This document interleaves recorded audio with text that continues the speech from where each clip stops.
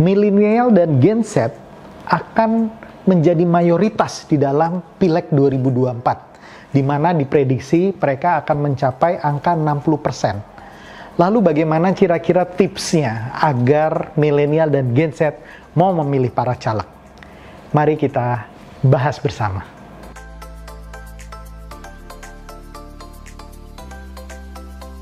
Hai Sobat Politician Academy, kembali lagi dengan Bungas Chandra, coach dari Politician Academy.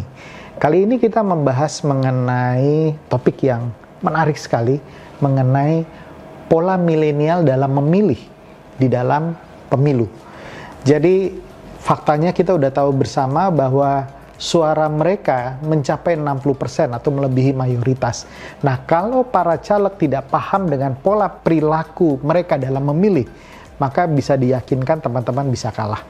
Nah, kami mencatat paling tidak terdapat tiga pola milenial dalam memilih. Pola perilaku pemilih milenial yang pertama adalah mereka tidak berorientasi kepada ideologi maupun partai politik. Jadi sang milenial dan Gen Z tidak peduli partai politik atau ideologinya, apakah ideologi nasionalis, apakah ideologinya uh, keagamaan, atau platform-platform partai politik. Mereka tidak terlalu tertarik dengan itu karena bagi mereka yang lebih penting adalah figur dari sang caleg yang akan dipilih. Yang kedua, mereka akan mencari di internet track record dari calon-calon legislatif yang akan mereka pilih. Artinya dengan melimpahnya informasi di luar sana, mereka akan mengecek satu persatu track record, rekam jejak, kredibilitas, visi misi, termasuk ide dan gagasan dari sang caleg tersebut. Yang ketiga, dan mungkin ini yang penting juga adalah mereka tidak terlalu terpengaruh dengan politik uang. Artinya, mereka betul-betul akan memilih di ujung siapa yang sesuai dengan pilihan preferensi dan hati nurani mereka berdasarkan hasil pencarian informasi mereka tadi.